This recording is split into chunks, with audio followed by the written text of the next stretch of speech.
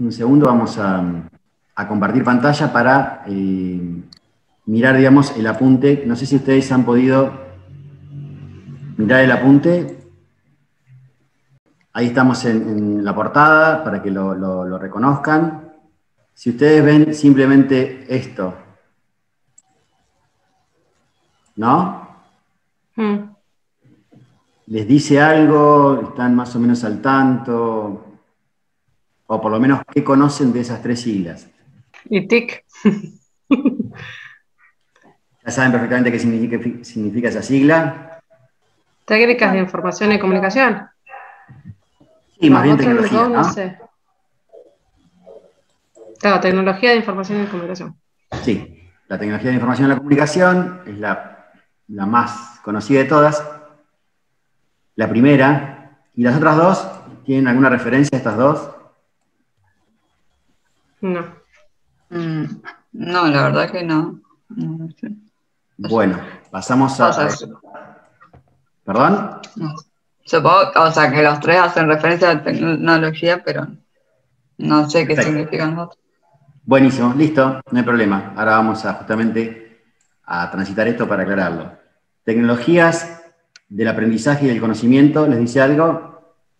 Tecnologías y debe ser algo eh, con saber más utilizado en la escuela, capaz con... Por ahí vamos. Y si decimos tecnologías del el empoderamiento y la participación. Ahí ya, con empoderamiento se me... No sé a qué razón. bueno, tengan en cuenta, digamos, que em, ya desde la denominación del espacio cultural, tecnologías de información y la comunicación, y desde el uso que se le da a la tecnología, casi siempre estamos parados acá. ¿Sí? En las TIC. Ahora, no es que sean eh, radicalmente otra cosa, sino un cambio de abordaje de cómo se piensan las tecnologías, estas otras denominaciones. ¿sí? Si pensamos a las TIC en términos de TAC, incluimos algunas dimensiones, pero básicamente es cambiar el enfoque. En vez de pensarlas como tecnologías de la información y la comunicación, si se quiere la dimensión más instrumental de la tecnología, cuando pensamos en tecnologías del aprendizaje y conocimiento, estamos pensando en cómo la tecnología favorece procesos de mediación, de moderación en línea, de educación a distancia, de mediaciones tecnológicas, para orientarlas hacia los procesos de enseñanza-aprendizaje. Por ejemplo, este Classroom que estamos usando, por ejemplo, la educativa que usan desde la, institución, por ejemplo, los Moodle, pero además, digamos, cualquier cantidad de ofertas, de cursos, de sitios, de plataformas como la de Educar, o la Juana Manso, o la Ceibal, si la pensamos acá, los hermanos del Trono del Charco en Uruguay. Bueno, montones, digamos, de situaciones, entornos de moderación, de educación en línea, de educación remota, de educación bimodal, como quieran llamarla, mixta, ¿sí? híbrida, cualquier digamos, concepto de lo que hoy por hoy está tan en boga justamente por el tema de la pandemia, que se destacan, y esto hace muchísimo, pero bueno, hoy tienen como su momento de auge justamente a raíz de, la pandemia, que un poco las, las puso en foco, y hoy por hoy, digamos, eh, hay mucha mucha educación, digamos, esta que llamamos en línea o virtual, y como que destaca más este aspecto de las TAC. Pero bueno, hace mucho que están ya dando vuelta el tema de la educación a distancia, educación remota, que no son solamente sinónimos, pero que más o menos orientan para ese lado, ¿no? Usar la tecnología, usar esa tecnología de la información y la comunicación, pero pensada de un enfoque pedagógico, en términos de TAC. Ahora. O sea que lo que es el aprendizaje ubicuo que vimos el otro día sería más TAC. Exactamente. Conveniente usar más TAC. Exactamente. Por ahí cuando decimos computación ubicua no tanto, ¿sí? porque por ahí se destaca más justamente la dimensión instrumental, la dimensión del aparato, la dimensión del software, la dimensión de la tecnología en sí misma, lo más instrumental, artefactual, el aparato en sí mismo, el dispositivo. Pero cuando ya empezamos a ver las otras dimensiones involucradas en la ubicuidad, estamos pensando ya más en este modelo o en esta, esta concepción, en este abordaje de las tecnologías, que mira la dimensión en los procesos operativos y no tanto en la tecnología en sí misma, no tanto la tecnología como instrumento, como dispositivo. Bien. Bien, y si pensamos en las TEP, ya entramos en otra dimensión de esa tecnología que la permiten, las tecnologías de la información y la comunicación, que involucran muchos los aspectos de lo que son las tecnologías del aprendizaje y, el conocimiento, pero ahora ya pensado desde la participación social, o sea, tecnologías del empoderamiento y la participación. Si ustedes más o menos se están orientando en términos conceptuales, esto implicaría ya hacer entrar en estos procesos las dimensiones que tienen que ver con lo social, con lo político, con lo ideológico, con los movimientos, con la participación, digamos, de la gente, la interacción, las comunidades de práctica, y un montón de dimensiones más que están involucradas, pero que ya pensando en términos sociales, sociales, culturales y amplio, ¿no? ¿Qué pasa con esa participación ciudadana? Por ejemplo, con la identidad digital, con la ciudadanía digital, todos esos procesos. Eso era más del video del hombre, ¿no? Que vimos la otra vez. ¿El video del hombre? Perdón. Un video, un enlace que habías pasado, que hablaba de eso. Yo en la interactiva pasaba y había unos videos. ¿Hace referencia a eso? Ah, sí, sí, a, Nicolás, eh, nunca sé bien cómo se pronuncia, pero es algo así como Nicolás Bárbales o como suene. Exactamente. Sí. No sabía de dónde venía porque estaba pensando en el otro, el que había subido para materiales. Ah, a, propósito, vieron que subí eh, para hacer la entrega de materiales educativos, materiales didácticos hasta el 23 de abril. Sí. ¿Estamos Esta semana por. claro, o sea que bueno, tienen hasta el 23 de alguna semana más para, hacer la, entrega. ¿Saben cómo hacer la entrega todas en el espacio de entregas? Sí. Hay que poner compartir y después a la vez entregar, ¿o no? no, no, simplemente hay un espacio donde dice crear, subir, digamos, para... Eh, les aparece a ustedes, a mí no me aparece justamente porque estoy en, modo profesor, pero mm, eh, simplemente, digamos, les da para que ustedes suban la tarea que puede ser un PDF, que puede ser un Word, o directamente crear uno de estos Google Drive, que son parte, digamos, del, paquete de Google, para que ustedes hagan la subida por ahí. Eso a mí me llega, yo lo evalúo y lo puedo devolver por el mismo canal por la misma vía, digamos ustedes me mandan a mí, yo puedo hacer comentarios de evoluciones. Eh, si me mandan un PDF un Word, eh, un PDF no, porque no puedo intervenir. El Word sí, pero ya digamos es, otro tipo de documento. En cambio, el nativo del, Google Classroom, digamos, es el Docs. O sea que si ustedes quieren trabajar con el Doc, digamos, que, que, trae Google, mejor para mí porque puedo intervenir sobre el mismo documento, que pegue la vuelta ya evaluado, ya corregido, ya con observaciones, con la devolución, y le llega a ustedes con los comentarios acerca de la propuesta, de la revisión. Este trabajo que estaba presentando no lo subió todavía. Eh, pero no de este, ¿eh? No, no, estoy hablando del anterior, de que ya está... Eh, no, sí, sí, pero este no lo Bien, retomamos la, la, idea del apunte. Fíjense que el apunte lo que va a hacer es, en principio, repasar cuál es todo este mundo de las TIC, tecnologías. ¿Se ve y se escucha bien eh, todas? Sí. Sí. Sí, Bien. Tecnologías de la información y la comunicación. Y fíjense que todo lo que tiene que ver con la parafernalia de aparatos, de dispositivos, de software, de programas, de aplicaciones, de todo lo que se ocurra que tiene que ver con la tecnología, entraría en esta dimensión, la dimensión instrumental, los gadgets, ¿no? los accesorios, los relojes que son para correr, hasta la ropa que viene ahora, que viene con sensores, eh, obviamente todo lo que tiene que ver con memorias, lo que tiene que ver con chips, lo que tiene que ver con conectores, fichas, puertos, toda esa parte, estamos hablando del mundo TIC, ¿sí? Cuando vemos, obviamente, televisión online o demanda, como es Netflix, Amazon, todos esos, procesos involucran justamente artefactos, tecnologías, programas, puertos, interfaces, todo lo que tiene que ver con las TIC. O sea que cuando ustedes vean las cuestiones que también aparecen, por ejemplo, en el glosario, ¿se acuerdan? El glosario del apunte número 2, que sí está subido, y que ustedes ven extensiones y archivos, y ven terminología rara, y ven toda esta cuestión que anda dando vuelta, bueno, estamos hablando de las TIC. Eh, generalmente muchísimo eh, eh, término en inglés, porque bueno, obviamente es una cuestión cultural de, que desde ahí, digamos, salen las usinas de todo lo que tiene que ver con tecnología, inclusive los chinos y los japoneses que están, que producen tecnología, así como la Unión Europea, siguen eh, obviamente que informándolo a partir del idioma inglés, con lo cual es el idioma nativo para la tecnología, hasta que los chinos hagan, lo que tengan que hacer, bueno, será otro momento de, la era humana, pero está llegando. Y habrá que aprender chino, eh, nosotros quizás no, nuestros hijos quizás. Bueno, a ver, eh, estamos acá, ¿no?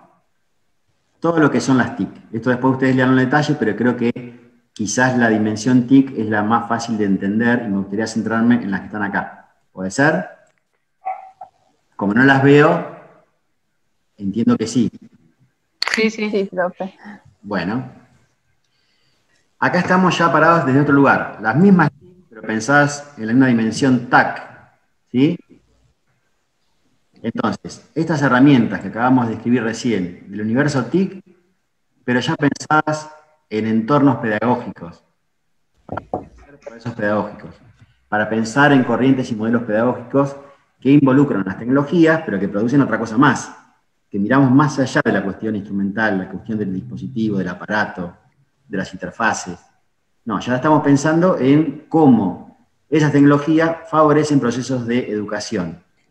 Bien favorecen procesos de educación, o sea, educación en línea, educación a distancia, educación remota, educación híbrida, bimodal, lo que se llama el invertida, el modelo TIPAC, bueno, montones, digamos, de modalidades que son propias de lo que tiene que ver con la educación más allá de la presencialidad.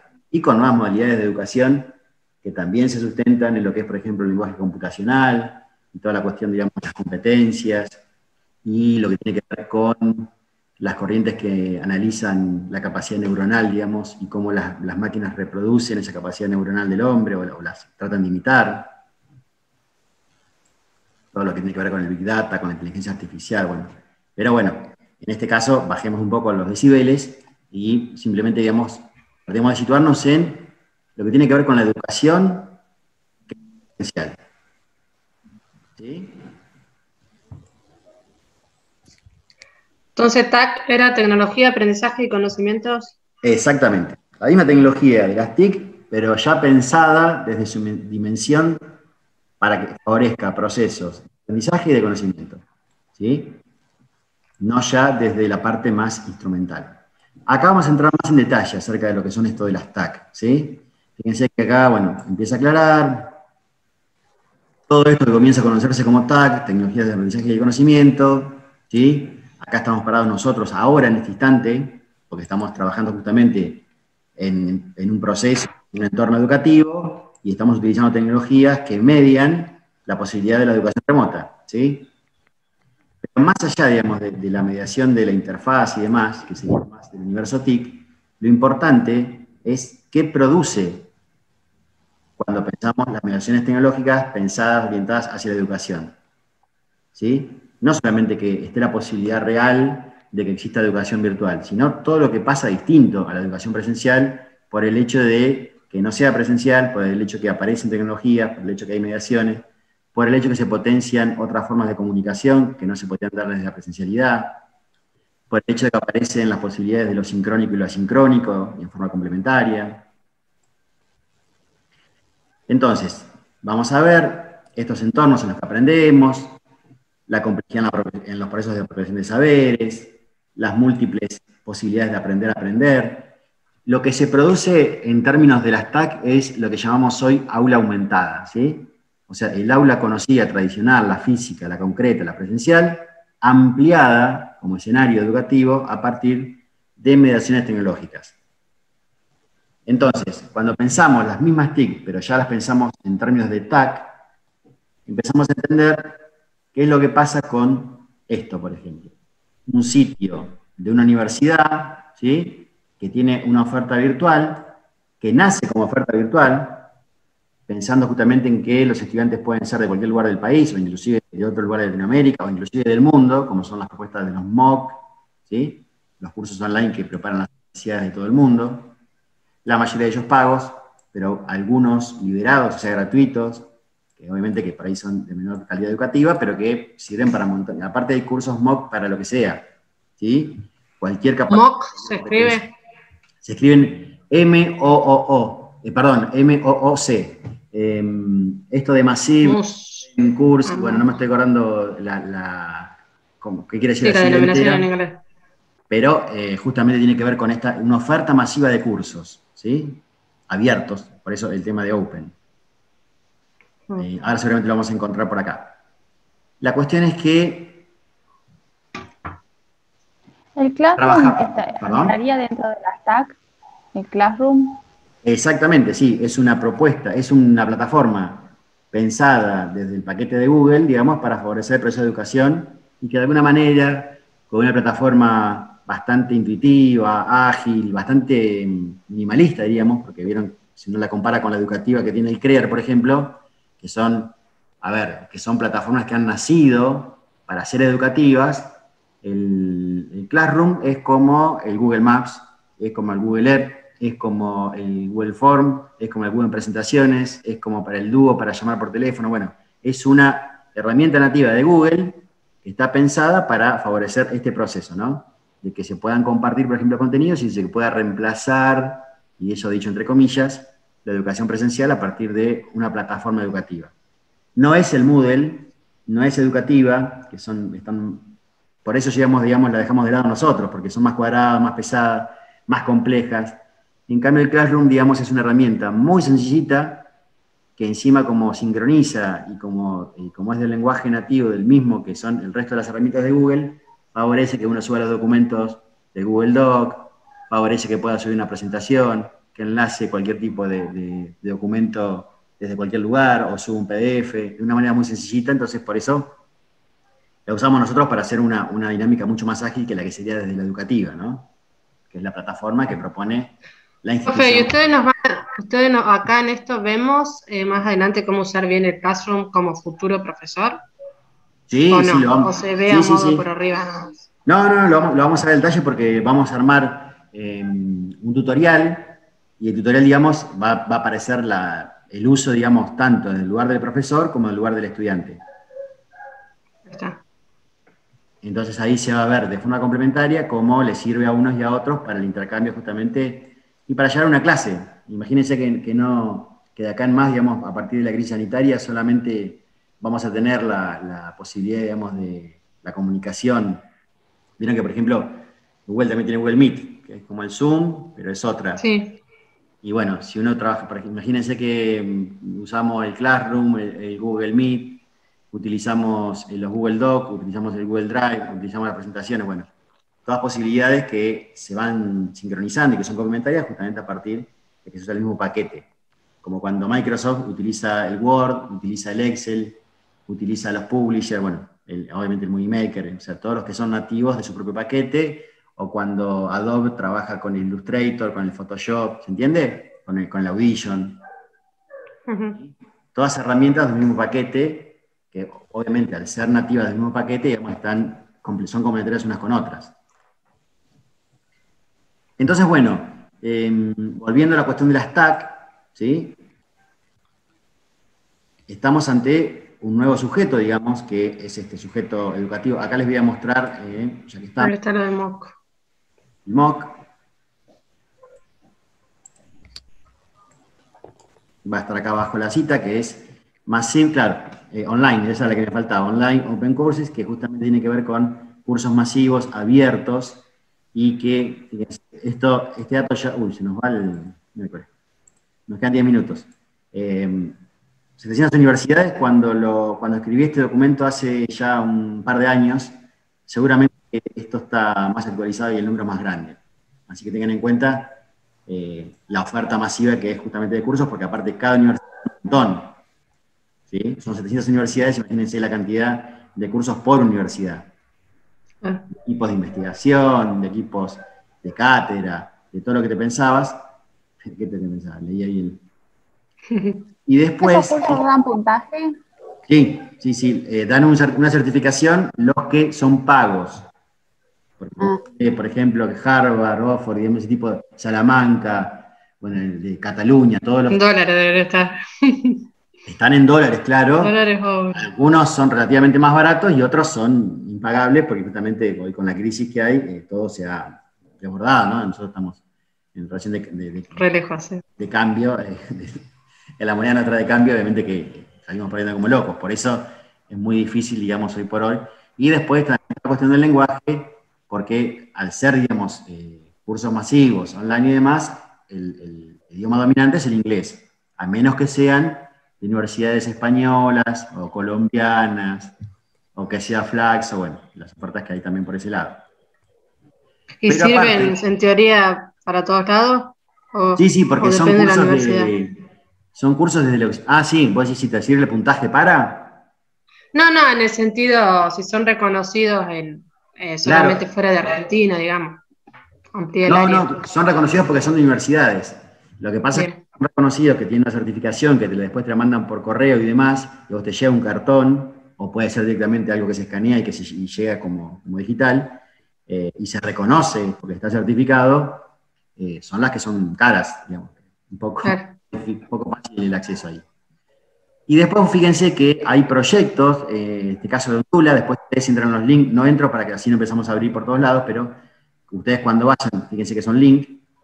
Proyecto Ondula, proyectos educativos que hacen un grupo, una comunidad, digamos, educativa que se dedica, se juntan profesores y organizan, digamos, desde una fundación o desde un grupo, de un colectivo, organizan eh, una propuesta educativa. También, digamos, el caso de Entrama, ¿sí? acá, digamos, con más presencia por ahí pedagógica, digamos, de pedagogos del país que por ahí participan también en procesos educativos, por ejemplo, en Educar, ¿sí? lo que son las plataformas nacionales de educación, que dependen del Ministerio de Educación de, la Nación. Y esta otra iniciativa privada que está también en todo el mundo, en este caso, eh, nosotros acá tenemos la más cercana a este Río de la Plata, justamente por, que involucra justamente todo lo que es nuestra región, pero ustedes están en todos lados un formato que tiene más o menos 27 minutos, donde expositores de todo el mundo, ayudados por alguna, alguna aplicación para presentar las temáticas, simplemente tienen como, como un láser, digamos, y, van eh, proyectando información, pero más que nada el TED lo que tiene es la exposición oral, ¿sí? física, están ahí, hay un público y exponen acerca de lo que se les ocurra. Cuando estuvieron acá en Santa Rosa hace un tiempo, yo no fui, pero bueno, me enteré, digamos, em, estuvo el profe Oliveto de Biología, que está con toda la cuestión del cannabis, y bueno, digamos, hizo, dio su charla, digamos, eh, en torno a ese tema, pero puede ser, no sé, de lo que se le ocurra, de cuestiones vinculadas con la educación, con las finanzas, con las tecnologías, con la autoestima, con, bueno, inteligencia emocional, lo que sea que se le ocurra, son este formato de las TED. Y después, obviamente acá está eh, eh, destacado el tema de Educar, que es la plataforma educativa del Estado, ¿sí? Y acá aparece también el tema de Ceibal, que es la experiencia uruguaya, que es la mejor de Latinoamérica. Algún día sí puede recorrerla, digamos, la propuesta está muy integral, muy, muy entera, muy, muy linda, muy completa. Y después, bueno, acá aparece justamente lo que tiene que ver con las plataformas, Moodle, Educativa, Classroom, ¿sí? Entre otras que justamente son plataformas pensadas para educación remota. Y finalmente, eh, entramos en el mismo enlace, chicas, en un ratito y cerramos, ¿sí? Simplemente para poder terminar con esto, porque si no, no voy a llegar con el tiempo. ¿Puede ser? Sí, sí. Se corta y entramos con el mismo enlace. Eh, las, las TEP es cuando las pensamos en términos de tecnologías del empoderamiento y la participación. Esto tiene mucho que ver, en principio se relaciona mucho con las TAC, porque la dimensión tecnológica siempre está involucrada, pero además involucra las dimensiones que tienen que ver con la participación social. Por ejemplo, si uno lo... Ah, esa era la TEP. Exactamente, la TEP, Tecnologías del Empoderamiento y la Participación. Si uno las piensa desde ahí, todo el fenómeno, por ejemplo, de las convocatorias del Ni Una Menos, las convocatorias por el tema de la legalización del aborto, lo que fueron la, lucha en el Congreso, toda esa, toda esa propuesta que se generó, se genera de alguna manera en una especie de relación de intercambio entre la calle, por un lado, y las redes sociales, o los sitios, o los espacios virtuales, que provocan convocatoria y después se retroalimentan de lo que ocurre en la calle, ¿no? Porque se generan los videos, se hace la convocatoria, los flyers, ¿sí? los intercambios espacios, las marchas, bueno, todo eso de alguna manera tiene que ver con este proceso Em, esto lo, conceptualiza Dolores Rey, que es la señora que está acá, la catalana que está acá abajo, ¿sí? Dolores Rey, lo, ustedes después si le dan acá, fíjense que, linkea justamente a una conferencia que hace ella en Cibal, ¿sí? Una institución también vinculada con la tecnología, y ella hace una muy interesante, digamos, eh, articulación entre lo que tiene que ver con las TIC, las TAC y las TEC. De hecho, este texto nace justamente a partir de esta videoconferencia. Ahora, em, lo interesante de todo esto, fíjense que acá estamos recorriendo justamente que tiene que ver con la participación política, lo que ocurre a nivel mundial, lo que ocurrió en, los procesos de la primavera árabe, digamos, con las convocatorias justamente por regímenes que son eh, políticamente más totalitarios y hay algunos conflictos, digamos, en torno al poder y, y, a la censura y demás, las redes sociales tuvieron un lugar protagónico justamente en abrir esos espacios para la participación política. Pero no se cierra el tema de las TEP solamente la convocatoria a las marchas o a los procesos políticos muy, muy definidos que generan polémica y demás. También tiene que ver con campañas ciudadanas, con ciudadanía digital, con la protección, digamos, de, por ejemplo, contra el ciberbullying o la cuestión de la pedofilia, o sea, generar conciencia social a partir de comunidades de práctica, redes sociales y la articulación entre el espacio público de la calle y de la virtualidad. O sea, cómo, de alguna manera se retroalimentan la virtualidad y el espacio público, donde aparece la discusión política, donde aparecen las cuestiones de la participación, donde aparece la interacción social, donde los jóvenes se vinculan con otros jóvenes o con, o con gente de otras edades y establecen, digamos, articulaciones políticas, debate, intercambio de ideas, ¿sí? Este es el mundo. cuáles serían, profe? O sea, ¿Perdón? ¿Por medio de qué sería? Pues yo no, caigo como por medio de qué. Y todo, primero, lo, primero principal son las redes sociales, pero no es lo único. Ah. Pues hay convocatorias en sitios, en espacios, está lo que se llama comunidades de práctica, que es gente que, por ejemplo, maneja todo lo que es el software libre y que más allá de generar contenidos puede generar intercambios de todo tipo. Eh, están las campañas que por ahí nacen en la televisión, pero que se replican en las redes o viceversa. Todo eso hace a este universo de las TEP. No solamente pero con un lugar protagónico en las redes sociales, con cierta preponderancia de Twitter, porque Twitter por ahí es el espacio, la arena pública del debate político en la mayoría del mundo, ¿sí? La gente por ahí, cuando va a debatir con otro, también, también el espacio de los trolls, ¿no? De las fake news, de los bots, de, de toda esa cosa un poco que es lo que se llama hoy por hoy infodemia, ¿no? Eh, es el tema de cómo la información también es una especie de pandemia cuando el mundo de las fake news de los bots y de todos y de los trolls, digamos, invaden el escenario público y lo contaminan y provocan, digamos, eh, prácticas revulsivas que ya no tienen que ver tanto con la comunicación, sino con el tema, digamos, de, de nada, quebrar al otro, quebrar al otro, de atacarlo, de, todas las, cosas que pasan por ahí, ¿no? Eh, lo que tiene que ver con los fenómenos de la posverdad, ya cuando la información eh, no se puede comprobar empíricamente y lo que se hace es desatar el aspecto emotivo de las personas y generalmente desde el peor lugar, ¿no? Desde la ira, desde el odio, desde todas las formas de comunicación que apelan al odio para destituir, para, bueno, denigrar a otros colectivos, para, bueno, todo lo que ya sabemos que pasa eh, con el uso de las redes sociales, los foros, la participación, por ejemplo, en los medios de comunicación que tienen portales portales informativos y donde la gente abajo empieza a intercambiar, muchos a veces de la misma línea ideológico-política y, después por ahí aparece alguno que es de la otra línea ideológico-política y bueno, se arman unos líos bárbaros, ¿no? Con... Ya se está grabando la, primera parte. Ahí entraría Daniela y a ver, 5. ¿Quién está faltando entrar? La otra Sofía. La, otra Sofía, bien. Después, em, nada, cuando esté publicado el video, tengo que tener unos días para editarlo y todo lo demás. Eh, pero bueno, por ahí vamos a poner al tanto a, Pamela para que también pueda, pueda repasar la clase que, no estuvo presente. ¿Cuál fue una onda de, de, las TEP, para que me quede más claro? Vio que en los diarios a veces abajo te podés, como quien dice, escribir. ¿Eso sería una onda de los TEP o no? Exactamente lo que estaba hablando, creo que se cortó, por eso no escuchaste, pero estaba hablando exactamente de eso. Ah.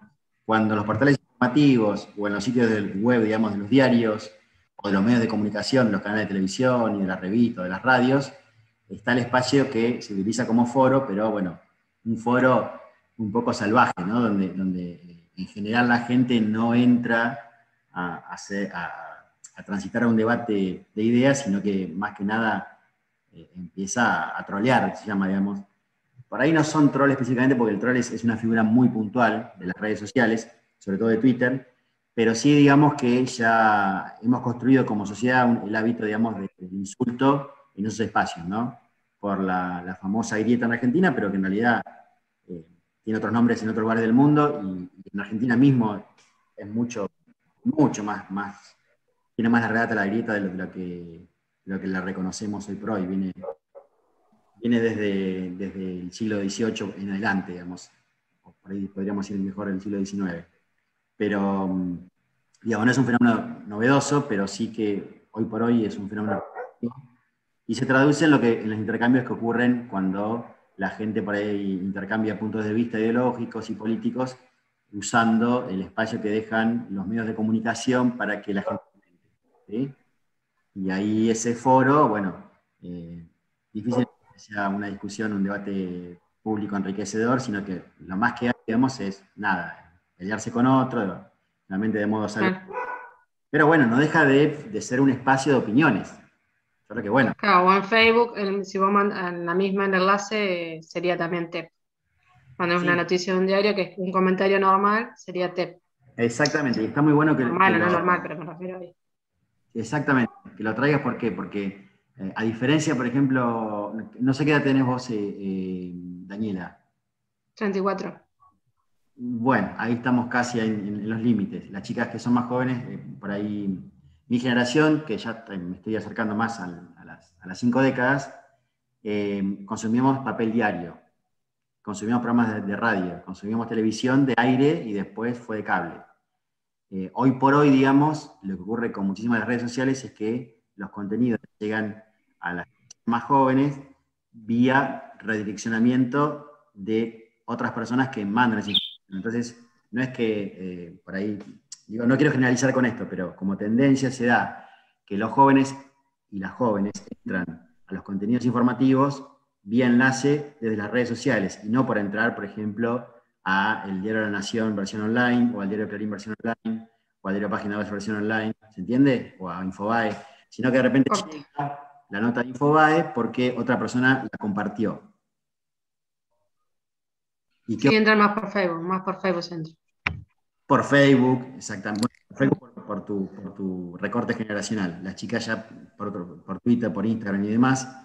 Pero mm, lo que ocurre es que eh, lo que se comparte es el contenido de una especie de nicho, donde tus contactos que más o menos piensan con vos, que es lo que hace Facebook con los algoritmos. ¿Sí? Los que piensan más o menos como vos aparecen destacados en Facebook y te llega a vos esa información y aparece poco visible la interacción de gente que no piensa como vos, a menos que interactúen directamente sobre un posteo tuyo. Pero eso es lo que hace Facebook con, el logaritmo, eh, con los algoritmos justamente para que eh, se arme como una red de entornos, de contactos que más o menos piensen lo mismo. Esto lo, utilizó... Ah, mira. Yo no sabía, porque como no suelo escribir, ni en, ni en Instagram ni en Facebook.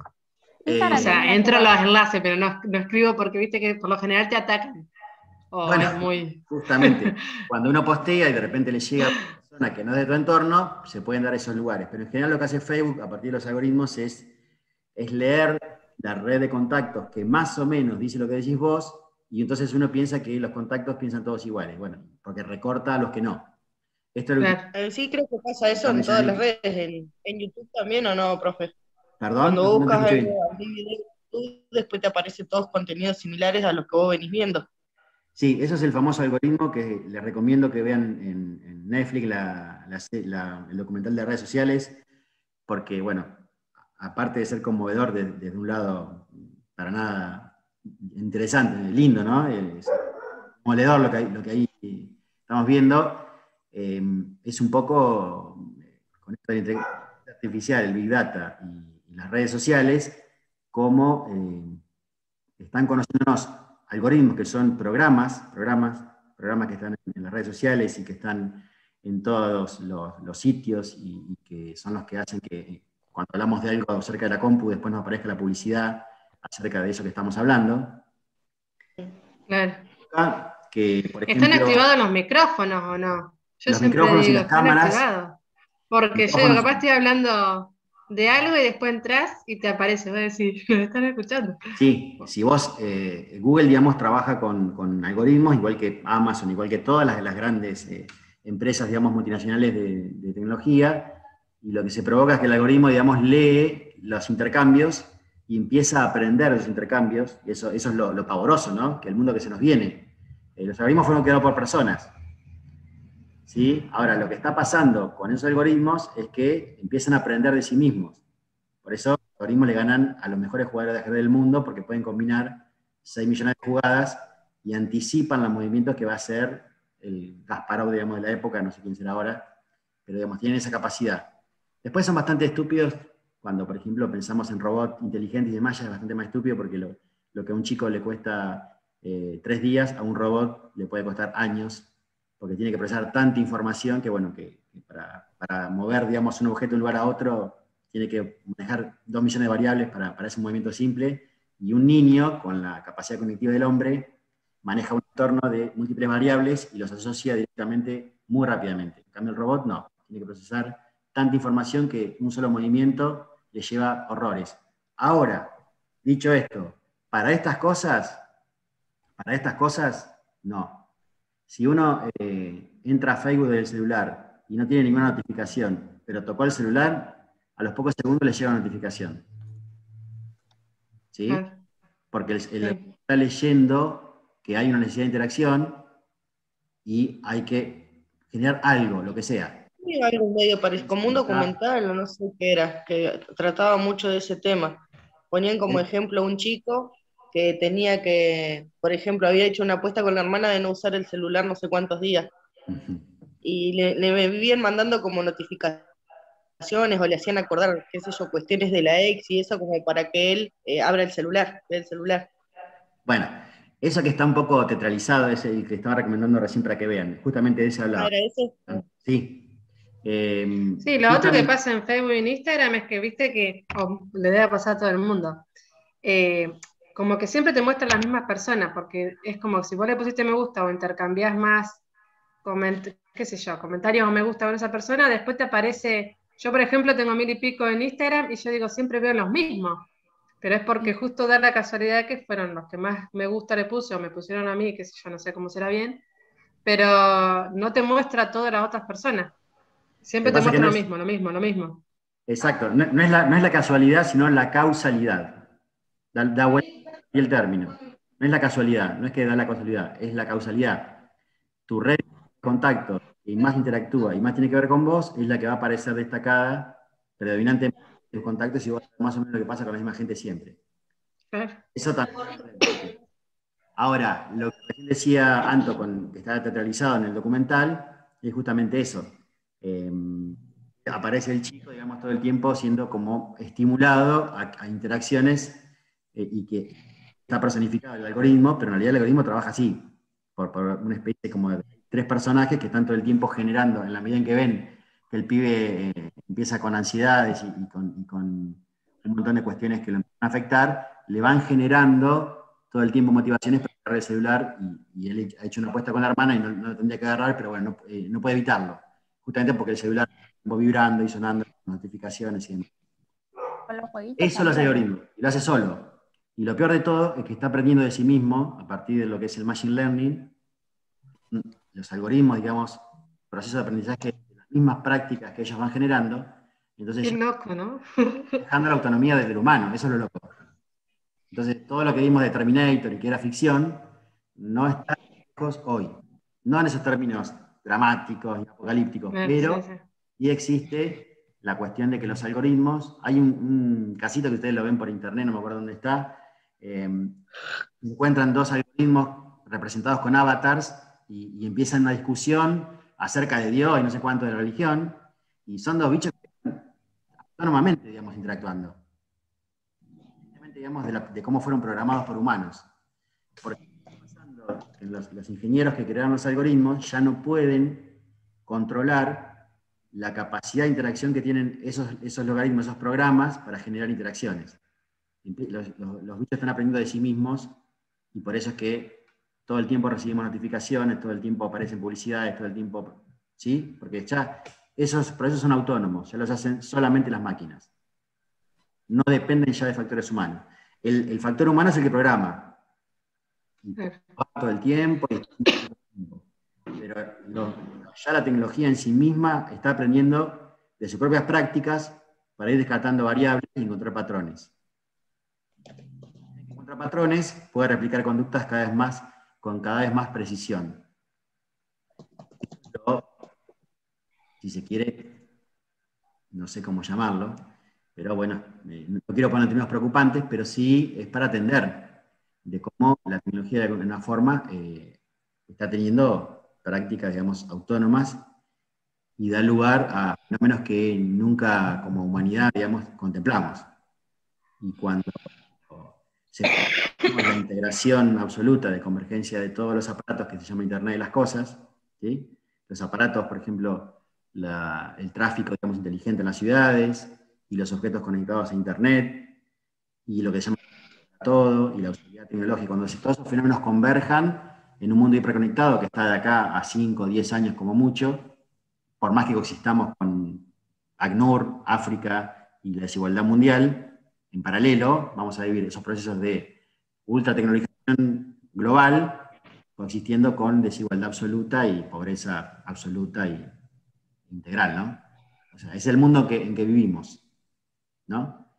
Entonces, eh, mal que mal, lo que a nosotros nos tiene que preocupar justamente es entender esos procesos.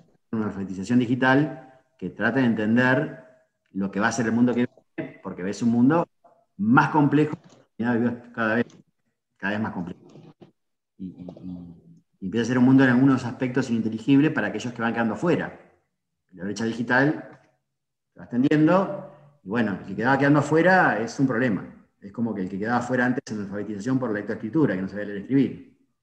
Ahora, la brecha digital va ampliando más la frontera entre los que están alfabetizados digitalmente y los que no. Y eso es un gran problema, ¿no? Hablé un montón, escucho a ustedes ahora. No, nada, yo la otra vez en práctica sugería la nos preguntaban qué onda con esto de qué pensábamos de la virtualidad, la movilidad, qué sé yo, o qué desafíos teníamos. Y por ahí yo lo que decía, digo, ¿por qué se da TIC en cuarto año? Tendría que darse antes. O más años. Claro, porque nos encontramos ahora, bueno, porque justamente lo estamos usando más por el tema de, obviamente, la pandemia, ¿no? Pero yo digo, estaría bueno, toda la carrera igual convengamos que en distintas materias te usan, te, piden constantemente eh, así, medio, usar distintos medios tecnológicos, hasta en didáctica te piden que hagas una secuencia, una utilizando la tecnología, y yo digo, te piden eso y tenés TIC en cuarto año y te están cuando se supone que como que está media rediseñada, media... Ya, tengo muchas hipótesis. Estaría bueno eh, más con esto de que yo le decía a la profe, yo lo estoy haciendo ahora la Paratic, pero sí por ahí me encuentro en que necesitas de, ese aprendizaje por ahí en otras herramientas para editar videos, en las cuestiones más, en otro tipo de programas, ¿no? Porque los básicos obviamente uno los conoce, los, los teléfonos, pero por ahí más en lo que es la onda computadora, estamos más lejos en eso, en, ese tipo de programación o, programas, plataformas, como se le dice. Sí, programación es otra, otra historia y ya ahí no, accedemos. Eh. Pero mm, con respecto a lo que decís, todos los años se generan las mismas preguntas y el mismo interrogante acerca de por qué el TIC no está antes o por qué no tiene los espacios. Y la respuesta es muy sencilla. Eh, tiene que ver con, digamos, eh, gremiales y, eh, de acuerdo al profesorado, digamos, nada, te van a ser profesoras de visuales y van a entrar en el terreno en que la escasez de las horas provoca estos procesos que son los que vos... Es, es, muy loco, ¿no? Muy paradójico, porque son los mismos profes de visuales tratando, digamos, de que todo quede entre sus manos que provocan que a ustedes les falten perspectivas de la comunicación que no están en el profesorado. Pero bueno, es algo que lo, con lo cual, digamos, ya nada, pelea perdida. Sí, excede lo nuestro, obviamente. Sí, sí, nosotros no podemos hacer nada. Pero por ahí como desafío se presenta, y hoy más que nada, esto del tema de manejar bien las tecnologías. Sí, sí, sí, sí, sí. Estamos medio en la nada. estar más años. Y deberían aparecer antes, debería haber dos tecnologías, una TIC más instrumental en segundo año y esta que ya sea directamente para procesos pedagógicos, seguro.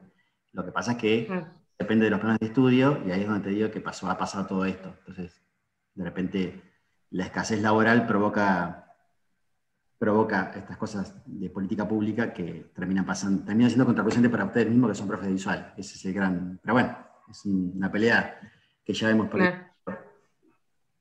Eh, yo, no, estoy más para. De, si pierdo estas horas, no las podría dar nunca más porque vendrían los profes de informática, por ejemplo.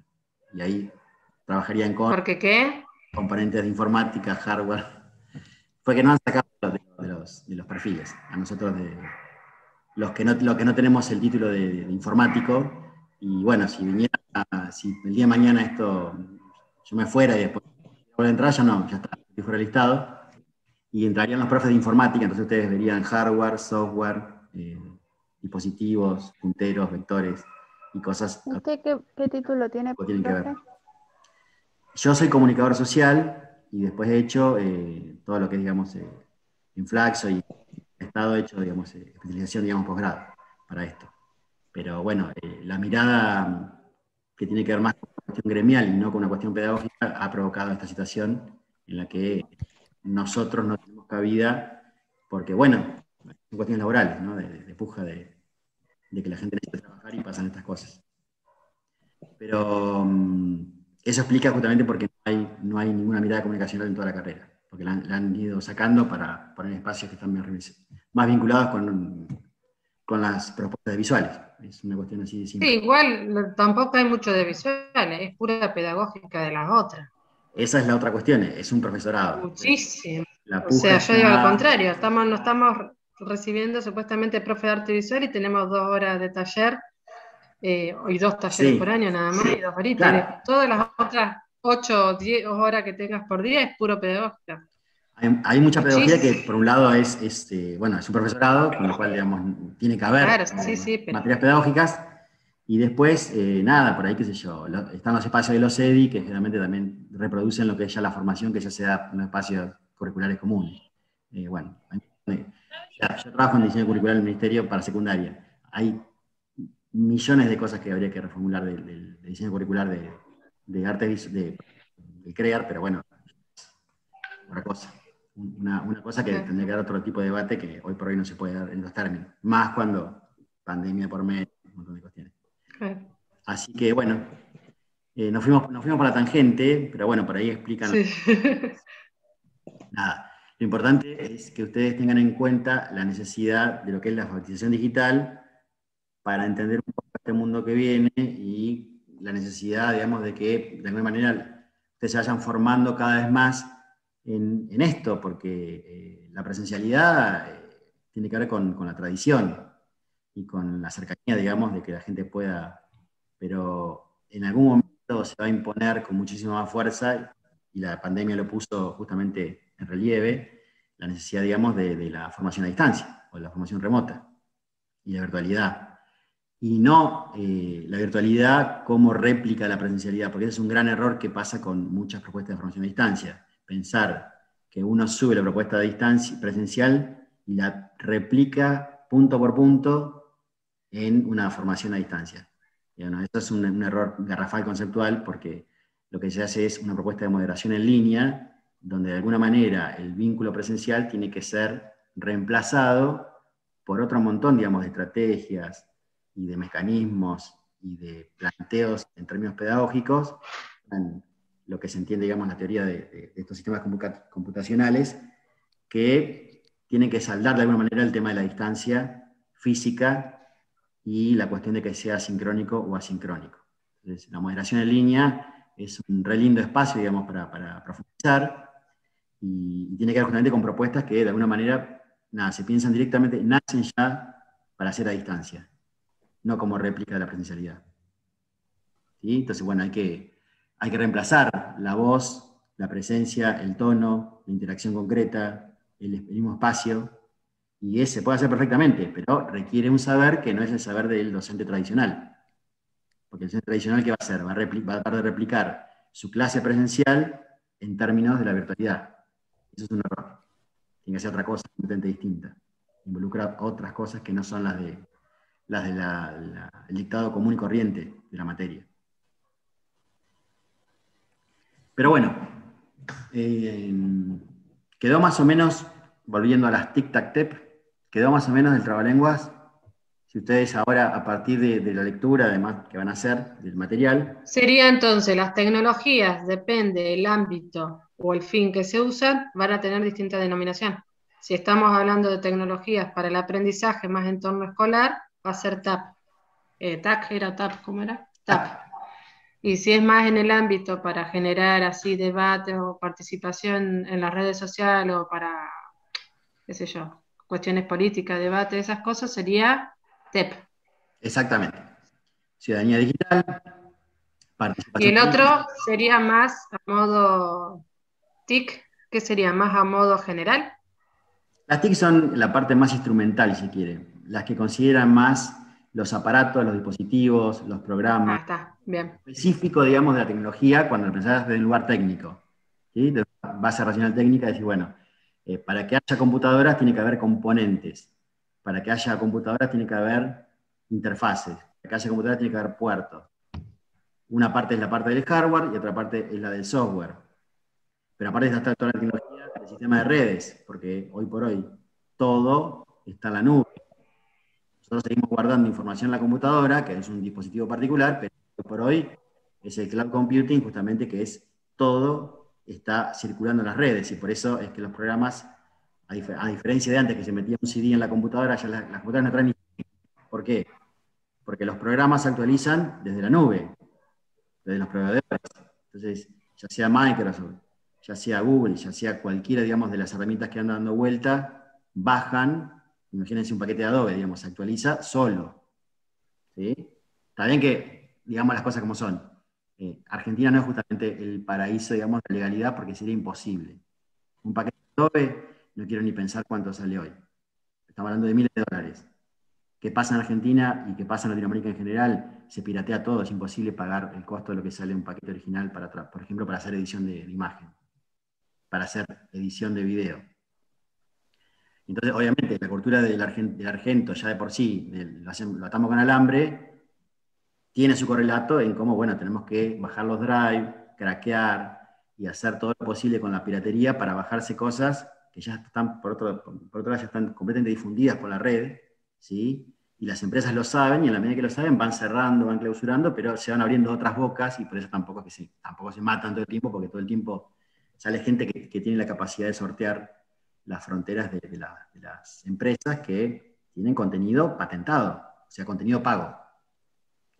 La otra cara, mucho más interesante, que es el software libre. El software libre son las comunidades de práctica de los desarrolladores web y de toda gente que está muy, muy metida en esto y que genera contenido abierto. ¿Qué quiere decir abierto? Que el código de base está abierto, entonces otros tipos con la capacidad, genios, ¿no? Estamos hablando de genios, no estamos de cualquiera de nosotros que podría meter mano, no. gente que está, que conoce el lenguaje HTML, que conoce los códigos, que conoce, digamos, los códigos de encriptación, y puede lograr que, por ejemplo, el GIMP sea la herramienta que es y gratuita. ¿La conocen a GIMP, la de Lobito? Edición de imagen. Ah. ya mismo a bajarse GIMP a la computadora porque es un Photoshop gratuito. ¿Cómo es? ¿Con eh, J? Con G. O, G de gato. G de gato. sería. Es lobito. Eh, lobito, perrito, no sé bien qué, pero bueno, es un icono de que tiene la carita de un perro, un lobo, no sé bien qué es eso, pero ahí está. A GIMP. Y ese GIMP, ustedes lo descargan directamente a la computadora. Es un Photoshop con las mismas prestaciones, pero es software libre. ¿Qué es software libre? Libre es Linux, es Creative Commons. Son todo lo que está disponible en la web y no sale un peso son los bancos de imágenes gratuitas. ¿sí? Son las bancas de sonidos gratuitos. Todo eso es software libre. ¿Y cuál es la filosofía del software libre? Si yo, desarrollador, comparto una comunidad de práctica un código abierto, vos que lo vas a usar, no te lo podés apropiar, no lo podés monetarizar, no lo podés hacer un negocio con eso. ¿Entendés?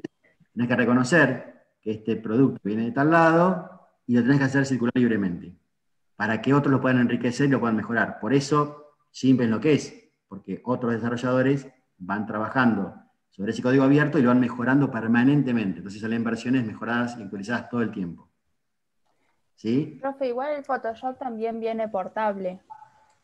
Sí, viene portable en un, pendrive. en un pendrive y todo lo que quieras, pero no deja de tener un código y si vos querés actualizar el Photoshop y, el, digamos, eh, descubre la patente que vos estás bajando contenido y demás, te puede llegar a, Bueno, justamente el portable es una solución, si se quiere, también como media de parche para eso, ¿no?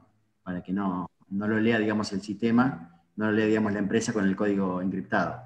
Pero estás eh, un paso, digamos, de que, de que la empresa te cierre o que te deje versiones demo, que son versiones, digamos, precarias, disminuidas, porque no, no está todo el potencial de la, de la herramienta. Yo lo tengo hace años, el CS6 me parece que. Sí, sí, sí, sí. Nunca, nunca me cerraron, nunca nada. No, no, por ahí, digamos, las actualizaciones no las recibís de una y si, fíjate, digamos, si recibís las actualizaciones o pasa, por ejemplo, si eh, yo para editar los videos trabajo con Filmora, por ejemplo.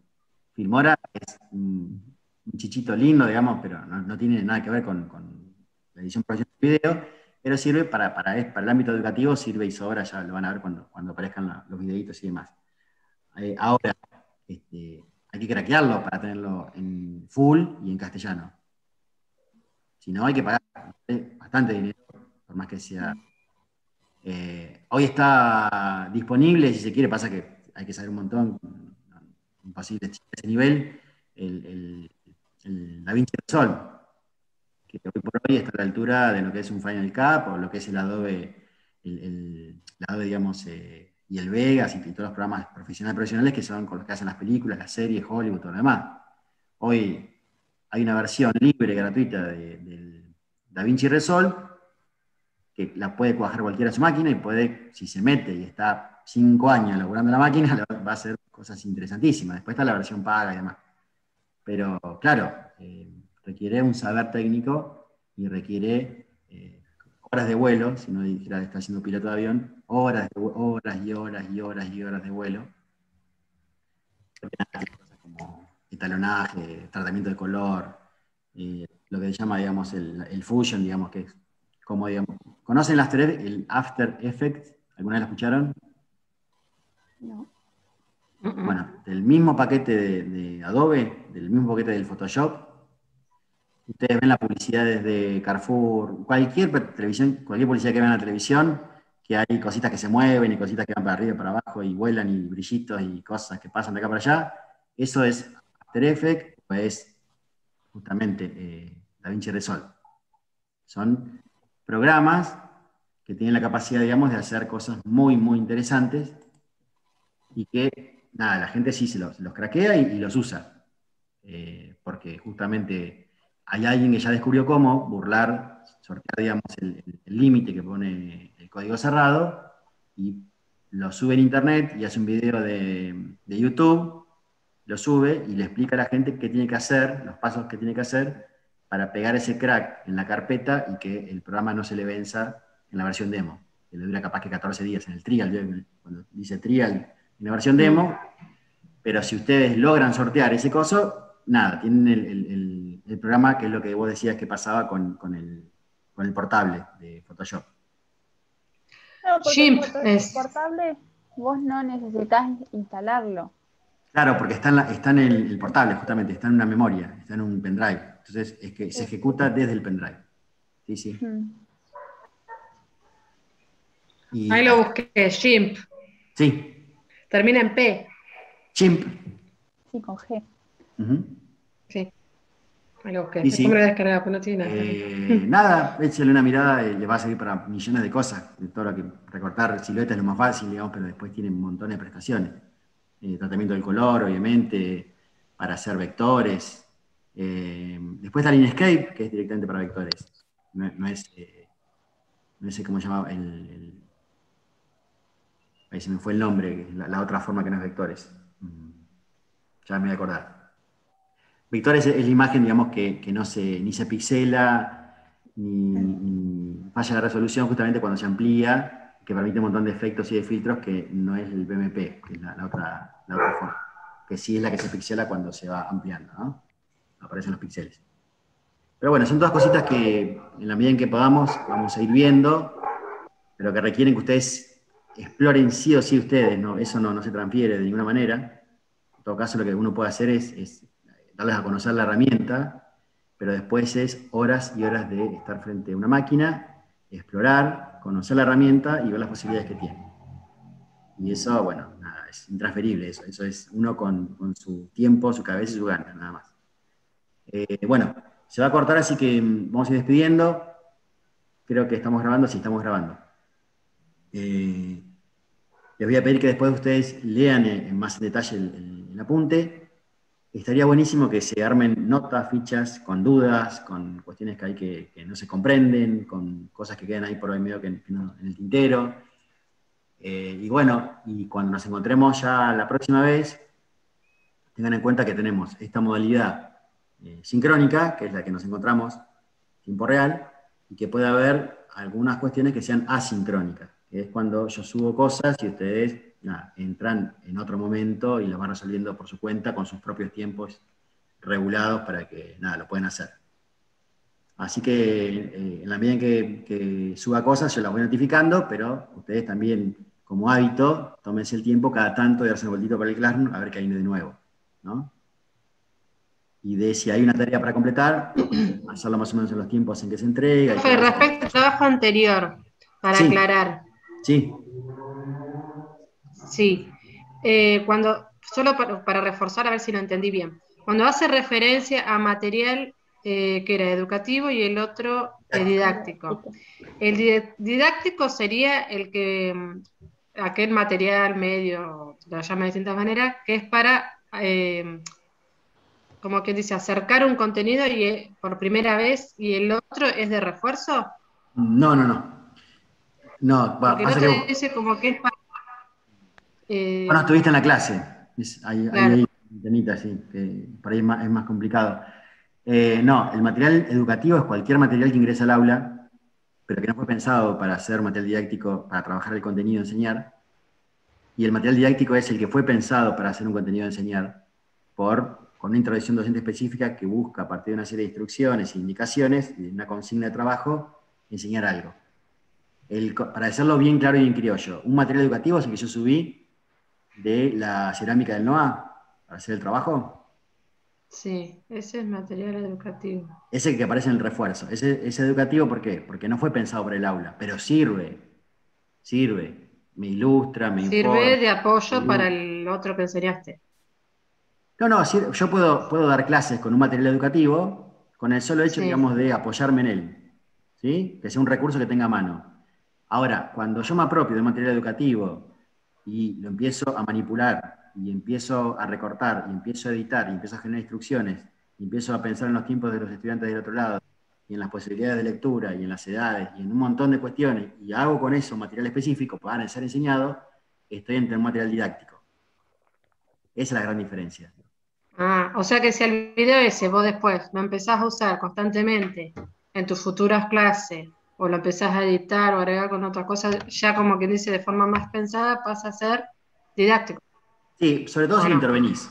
Sobre todo si intervenís, porque vos el material educativo lo puedes usar siempre como apoyo, como ilustración, para reforzar, para disparar un tema, para enseñar, eh, aparte de una exposición oral, para mostrarlo y después hacer un, cuestionario acerca de lo que se dijo, lo puedes hacer un montón de cuestiones. Ahora, si yo agarrar ese material del NOA y lo empiezo a recortar y empiezo a hacer un trabajo específico de una parte, que tiene que ver, por ejemplo, con la presentación, otra con el desarrollo, otra con el, con el remate, y empiezo a establecer que esto es para tal actividad diferenciada por grupos, y a uno le pongo una consigna y a otro grupo le pongo otra, y toda esa cuestión de intervención docente sobre ese material educativo, ahí lo convierto en material mm. didáctico. Porque yo lo estoy reelaborando estoy haciendo lo que se llama la curaduría del contenido, es un concepto muy parecido al de ustedes los artistas cuando van a hacer curaduría, digamos, de una, obra de arte, una, presentación de obra, ¿sí? Y que tiene que pensar cómo se comunica ese espacio artístico y cómo se ubican y cómo se sitúan de acuerdo a cómo va a ser observado y cómo va a ser la, no sé, la entrada digamos, de la gente, cómo tiene que estar para que la pieza de mayor real se tiene. Bueno, todo eso, traslada eso de material educativo al didáctico, y es más o menos lo mismo, es una curaduría de contenidos. Yo como docente intervengo sobre ese material, lo curo y lo propongo, lo comunico para ser trabajado en el aula. No ya como así como vino. El material educativo viene de el arte, de la comunicación, de los medios de comunicación, de las empresas, de la publicidad, de donde sea. Y me sirve para el aula. Pero cuando yo lo empiezo a manipular, cuando yo lo empiezo a curar como docente, con intervención docente, pensado para un grupo de estudiantes específico y para una situación de aula o institucional específica, de enseñanza y aprendizaje, ahí es material didáctico. ¿Qué es lo que ustedes tienen que hacer? Ustedes tienen que dar las instrucciones de cómo ese material del video se convertiría eventualmente en un material didáctico. ¿Qué harían ustedes para que eso se convierta en material didáctico? ¿Cuáles son las instrucciones y la intervención docente de parte de ustedes para que sea, al final del recorrido, un material didáctico? Y no un material educativo como es el de origen, que ustedes tienen a mano, que es el del video. ¿Ahí se entendió un poquito más? Un poquito más. por, ahí, por ahí faltó que... La, por ahí suena fácil decirlo, pero bueno la clase presencial por ahí, digamos, eh, tuvimos oportunidad de, intercambiar más y, nada, y llega. Pero si vos lees el apunte, el 3, léelo así más en detalle, hace una fichita, hace un, esquema, un mapa, y vas a ver cómo se va aclarando ese aspecto. Bueno. Estoy mandando a lograr más, más, horas, pero bueno, a veces es necesario. Bueno, se nos corta, en un minuto y medio, así que directamente nada, ya eh, tuvimos dos de 40, buenísimo.